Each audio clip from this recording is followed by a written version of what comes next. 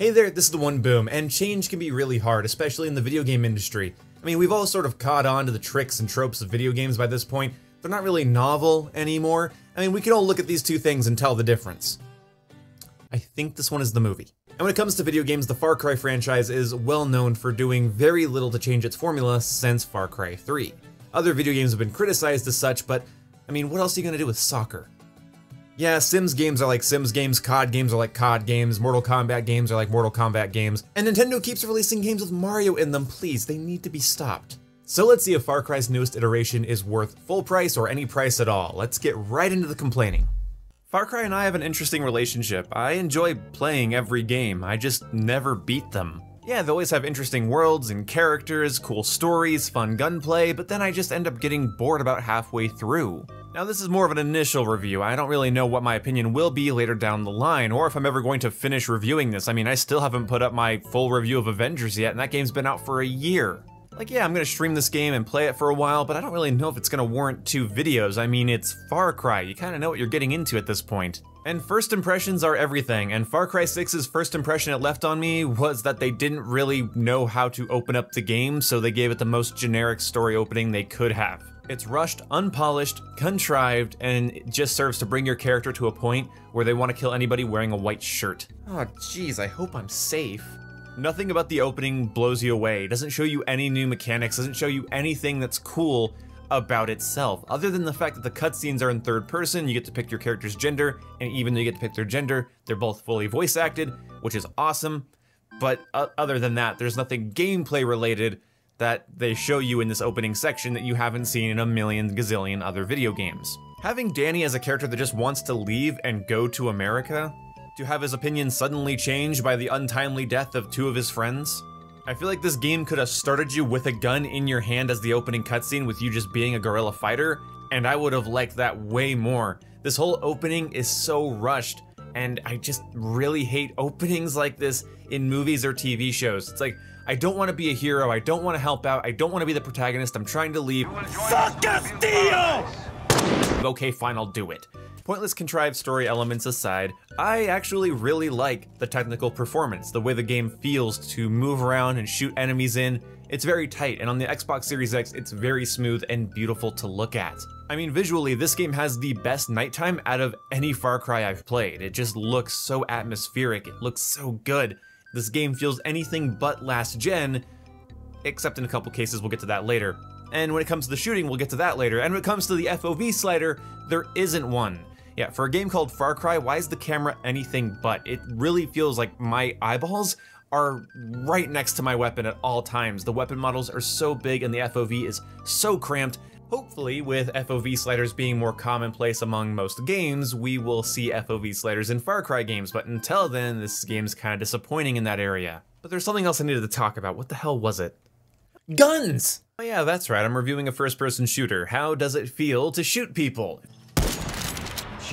feels pretty good. Uh, the only issue I have is that standard ammunition sucks ass. Like getting hit markers to the head in a Far Cry game while using a sniper rifle doesn't feel right. Wanting me to use the right ammo type for the right target means I feel like I constantly am using the wrong gun for the wrong target just all the time. One thing that I would love from the Far Cry franchise is just better bullet mechanics, just more interesting gunplay. If I shoot someone in the arm, they drop their gun, shoot them in the leg, trips them, stuff like that.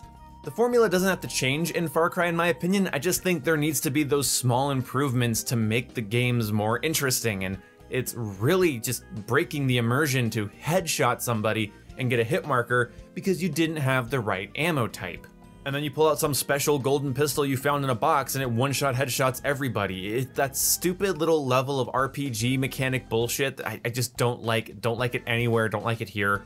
I mean, it's not a big deal, just go get the right ammo types, just get gunpowder from, you know, supply caches and forts, and then you take it and go build the right ammo type for your sniper rifle so it doesn't headshot hit marker people. Like, this scene is a lot less badass when you realize she's only fearless right now because she knows I have the wrong ammo type in the gun okay, fine, it's whatever. I just wish it wasn't here. Again, it's not a huge detraction from the game, it doesn't destroy the game, but so far from what I've played, it's my biggest irritation. Oh wait, no it's not. My biggest irritation is that the AI has not improved at all. Like, honest to God, I don't have any specific footage of this, it's just the entire game, you can tell. NPCs and their behaviors are incredibly dated. I talked about this in my Far Cry 5 review a long time ago, that it felt like Elder Scrolls Oblivion level of NPC behavior. It's very stupid. And when I say it, I mean the software. I'm not just trying to summarize my point by saying it's stupid. I'm saying, like, if you see an NPC, it's it's probably dumb. Oh, that's why you didn't immediately blow up when I was shooting at you with a helicopter. That's not a gas tank. My dumbass. That dude's on fire. Dude, get out of there. You're gonna burn alive.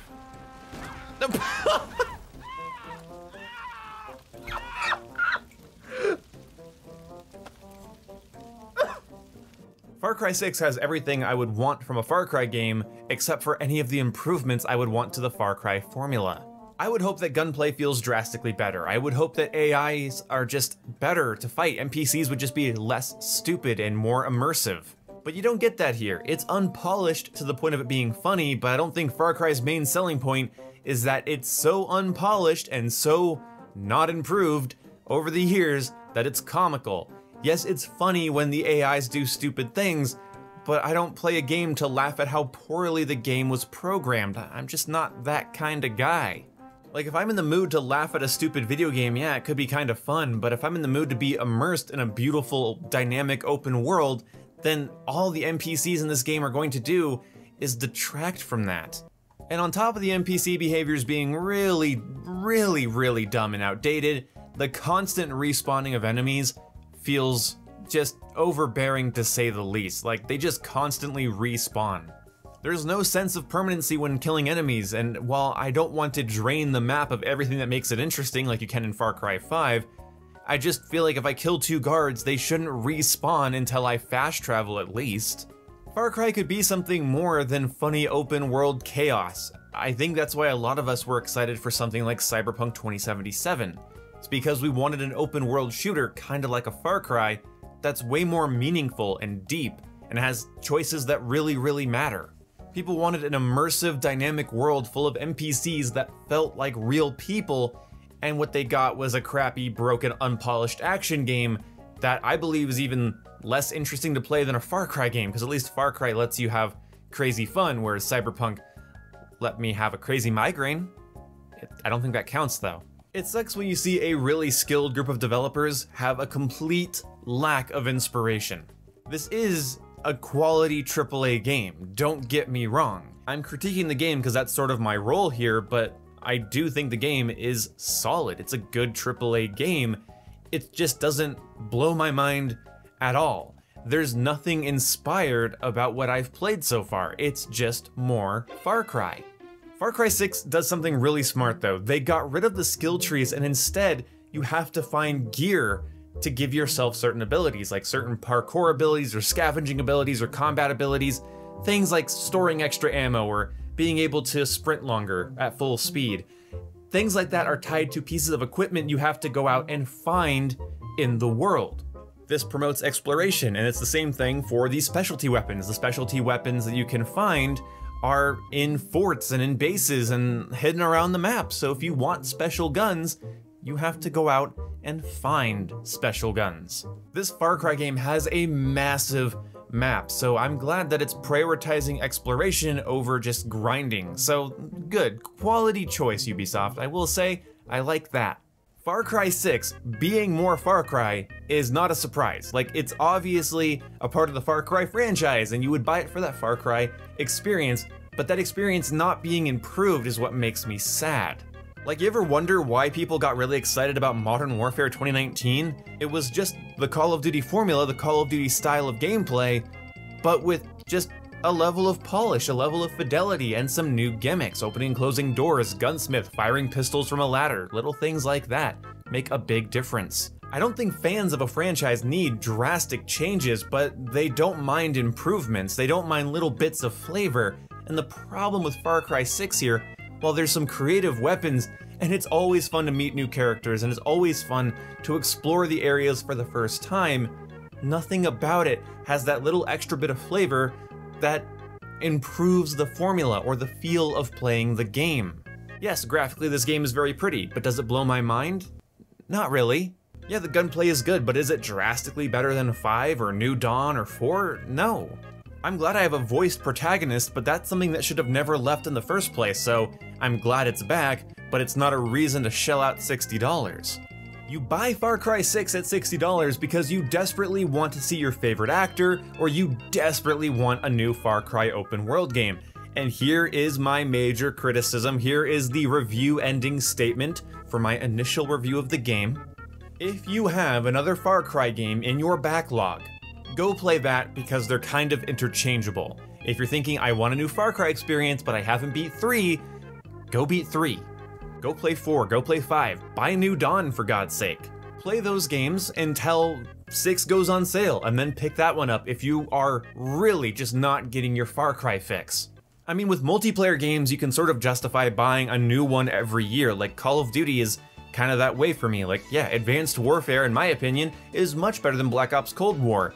I can't recommend it though if you're buying it for the multiplayer because nobody's online. I gotta be careful, my credibility juice is running dangerously low. So that's just not a good experience to have horrible connection quality in the lobbies you do find if you can even find any. So you gotta keep up with the seasons of Call of Duty. And hot take, there are more differences between each Call of Duty game than each Far Cry game, as far as I'm concerned, especially since Far Cry 3. Did the level move? Yeah, you don't have to climb radio towers anymore, but you're still playing Far Cry. Far Cry 6 is undeniably Far Cry. But if you have another Far Cry game in your backlog that you have never played, buy that one. It's probably cheaper, and you could beat it and get your Far Cry fix, and then a while later when Far Cry 6 is on sale, pick up that one. You'll save money, you'll have more games to play, and you will get the Far Cry experience. I don't think you would miss out by playing 3 over 6 or 5 over New Dawn. I don't think you're gonna miss out on much. Well, that wraps up my first impressions. Let me quickly check and make sure I still. Damn it.